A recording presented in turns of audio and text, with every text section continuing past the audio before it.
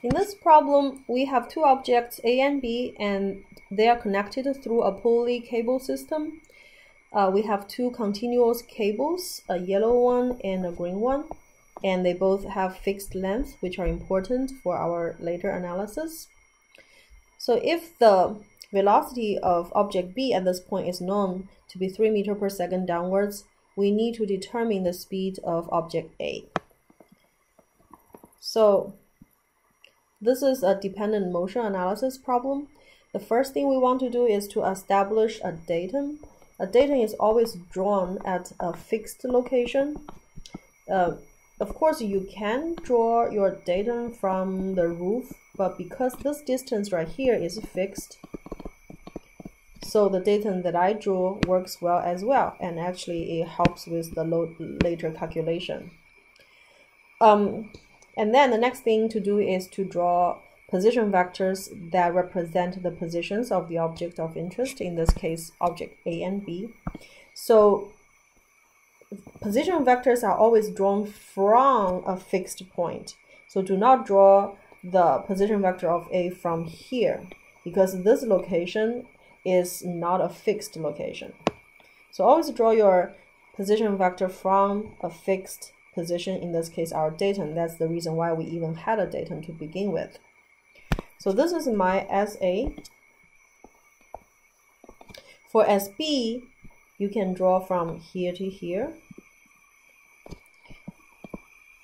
However, if you recognize that the distance from here to here is fixed, so if you recognize that, then we actually can draw the position vector from here to here, and it still represent the position of object B because we're not interested in the absolute positions. We are interested in the relative positions of these two objects. We are interested in the change of their positions.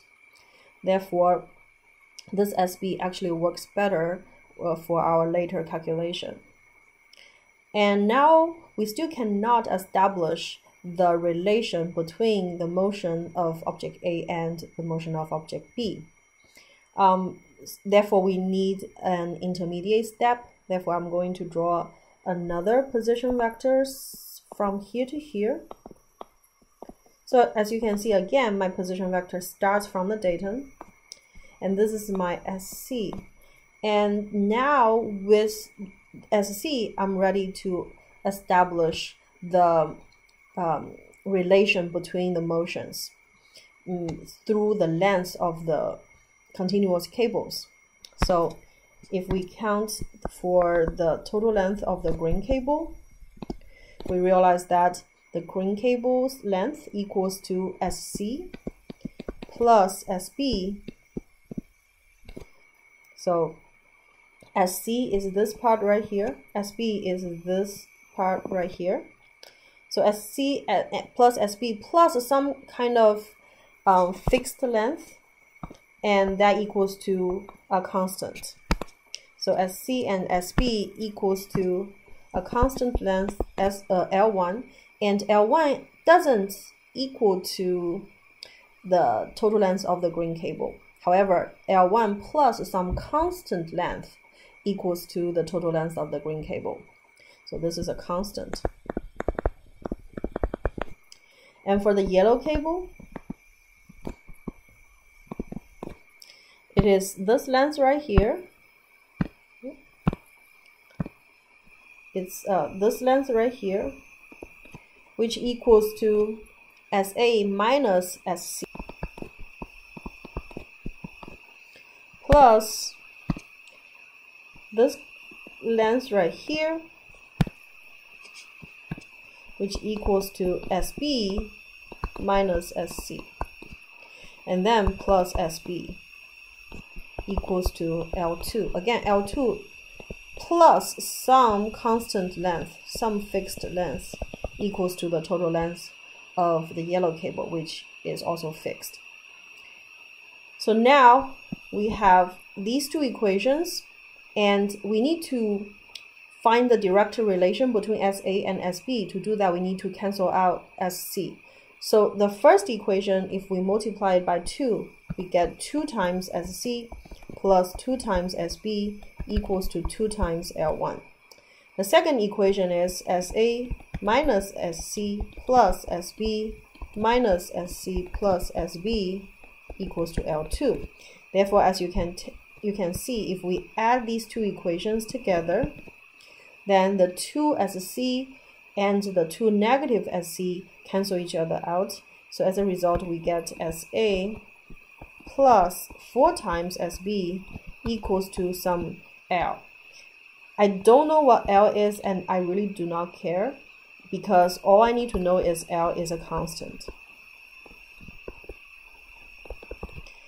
Therefore, now if we, if we take the time derivative of this entire equation, on the left hand side, we get dSA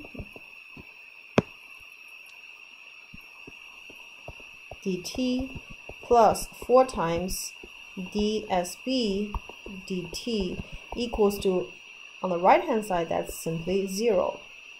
And we know that the time derivative of position is velocity. dsa dt simply is va, and then dsb dt simply is vb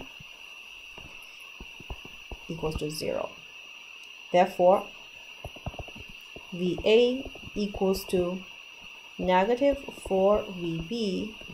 And if we establish that downward is the positive y direction, then this equals to negative 4 times 3, 12 meter per second.